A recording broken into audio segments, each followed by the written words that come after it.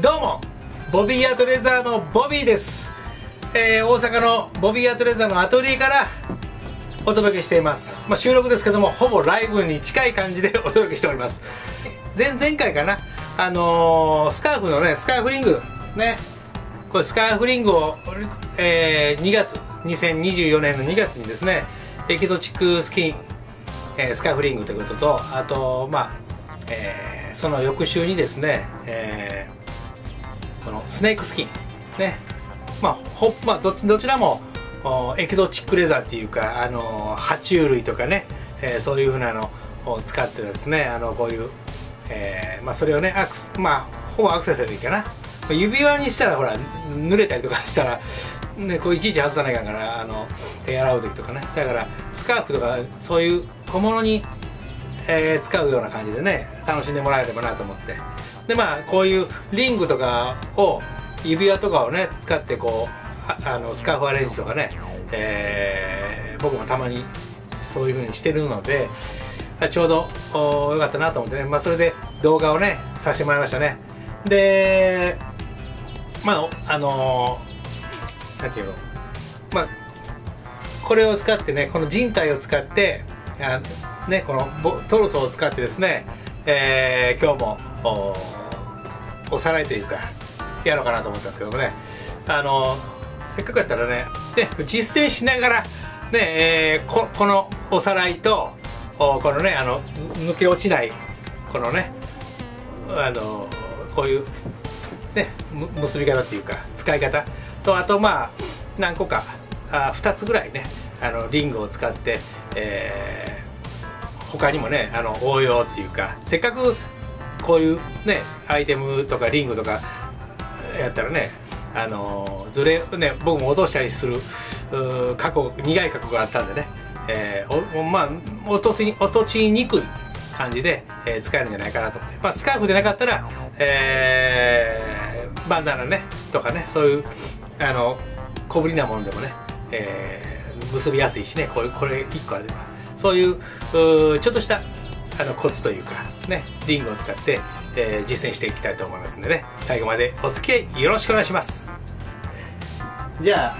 あ あのこれもう一度ねえ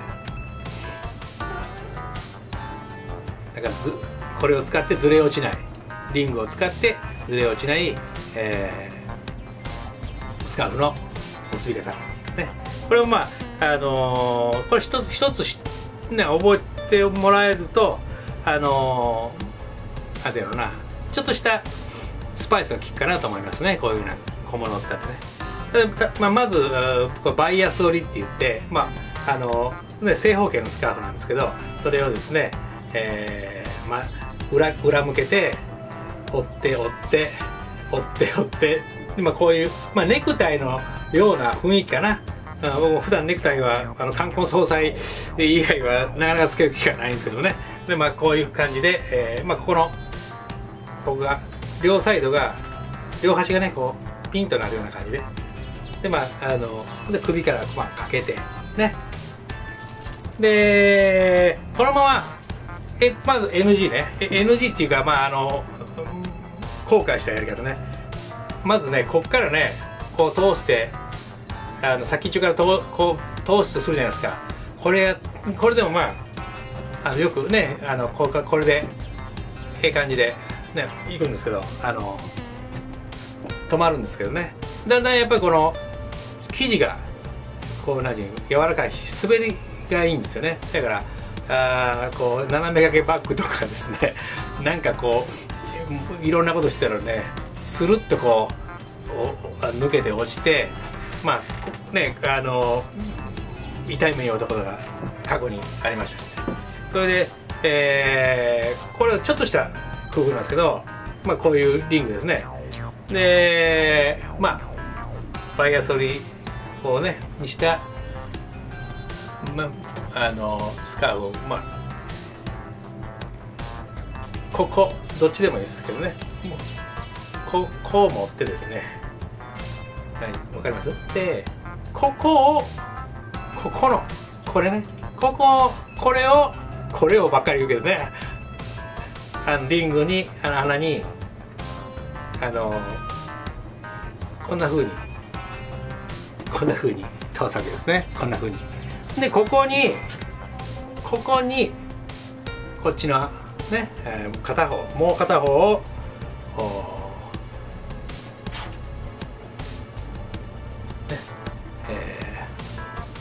入れると。そしたら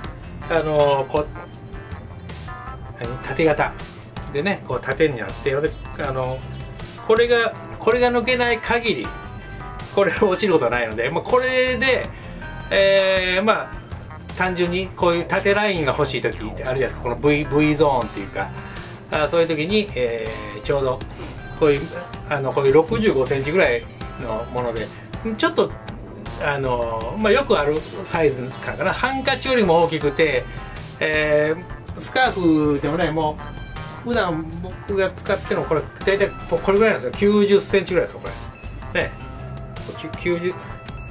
もう90センチ。これやったらねまだそのリングがあってもなくてもいろんなアレンジであのいかようでもねできるんでね。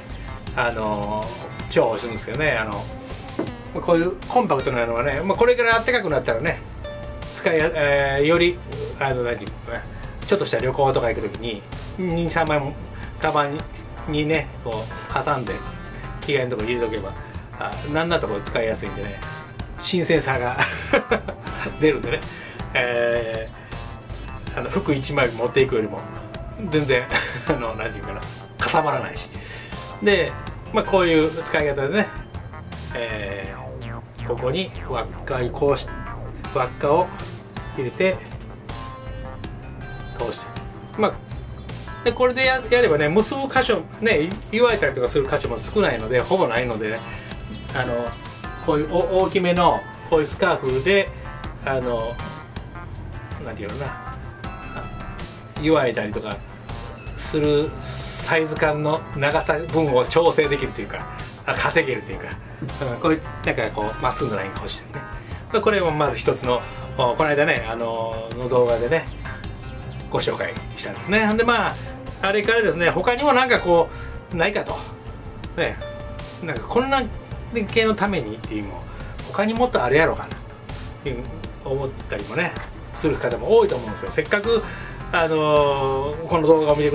くれてる人もそうやしねあの、まあ、まあ、全然指輪で対応してもらっても全然 OK やしね。で、まあ、それで、え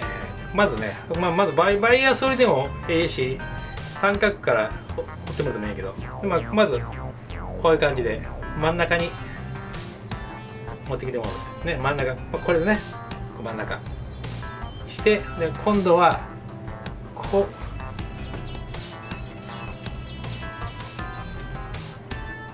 チョーカーみたいに。ね。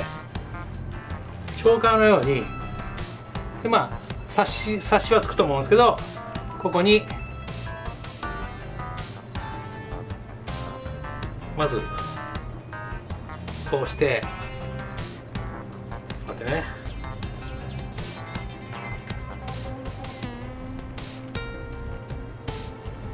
で、えー、こっちの方もリングに通すわけですね。だからねあのわりかしタイトにはなるけどちょっと超過っぽいような感じで。まあこんな感じかな。でまああのこのままでも十分かあのでまあこうかな。こうこういう感じで。あのこういうクルーネックの T シャツ着たりしてたらねちょっとこうワンポイントにこうなんていうあの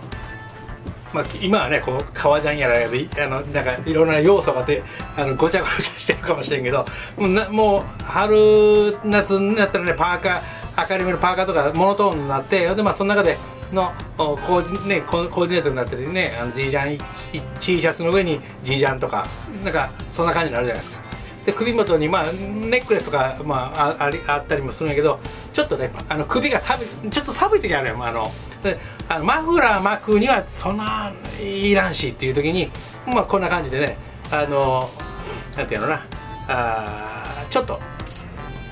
あの巻いてもらうんでも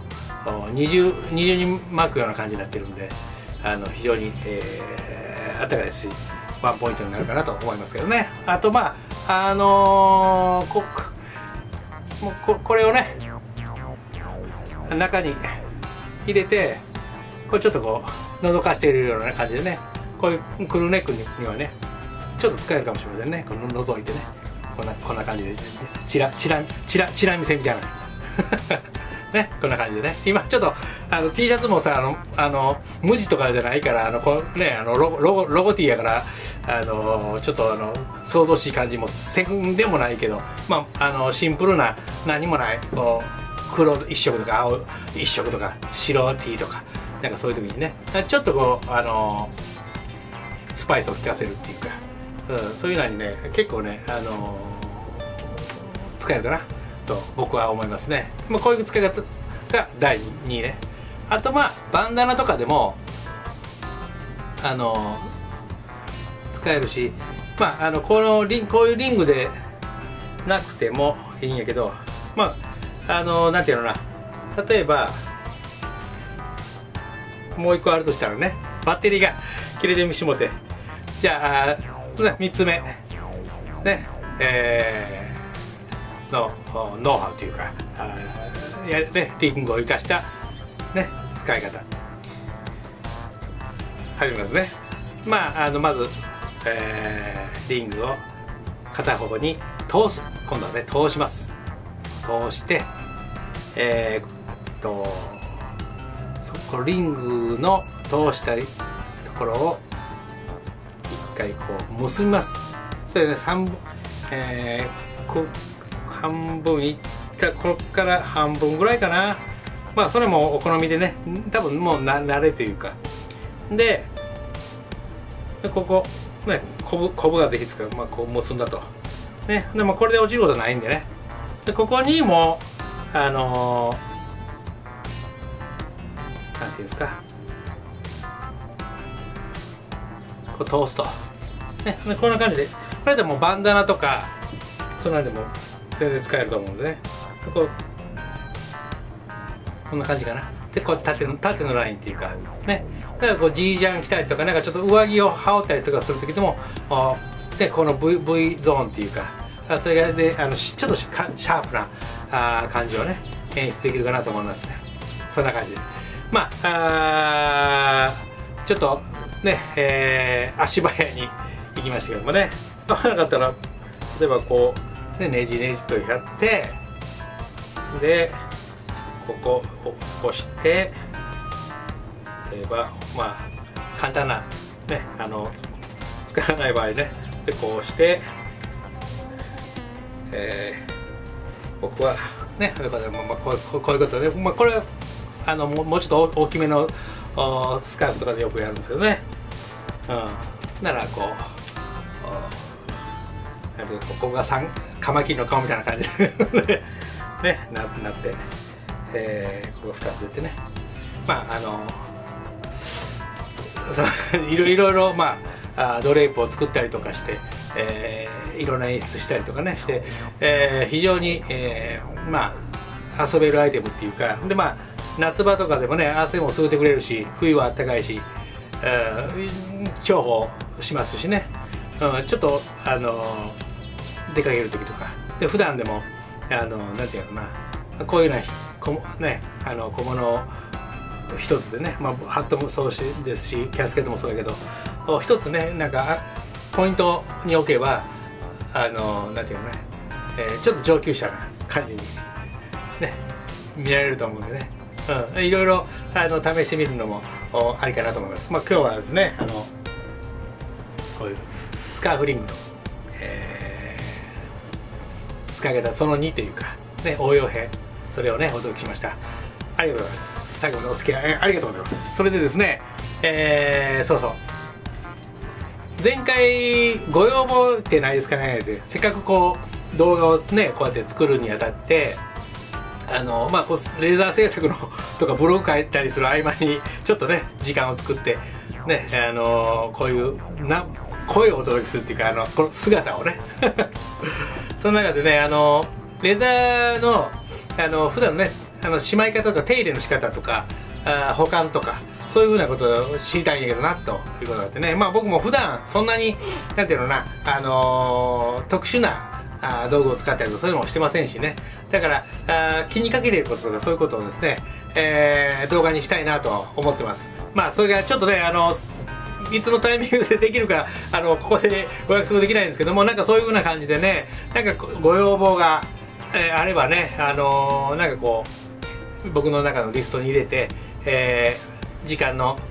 合間にね、え、こういうふうな感じで、え、動画をね、え、作って、えー、YouTube にアップしてで、まあ、ブログにも、えー、なんていうかな連動させて、え、みんなに楽しんでもらうっていうか、うん。まあ、こんな人が作ってるんやなと、えー、あのこういう帽子作ったり革ジャン作ったり、えーね、どんな人が作ってるんやろうって思うじゃないですか。やっぱこういう人がやってるんやなってことも。まあまあそういう安心してもらえたりもあるしまあなかなかねこのアトリエにお越しいただけないか、ね、エリアの方も非常に多いのでまあそういう感じでご挨拶がてら、えー、なんかね、えー、ホームページで見てもねこんな人がブログ書いてるんやなって思ってもらえるようなそんな配信ができたらなと思って、えー、ちょっと今日も ね、えー、春に向けてですけどもね、えー、高くなる時期に、えー、非常に、ね、これもねあの問い合わせいただいたりとかあのちょこちょこっとね、えー、購入していただいたりとかねあのポチポチですけどもねなんかこうそういうふうなね、あの、声が届いてますんでね届いてますんで、えー、それでね、えー、今日も急遽回させてもらいましたけどもね、えー、そういう感じでもしこの動画が良かったらええなと思ったらこの動画がええなと思ったら、えー、いいね。チャンネル登録いいね。グッドボタンね、えー、よろしく。それではまた次の動画でお会いしましょう。ボビーアトレザーのボビーでした。じゃあね。バイ。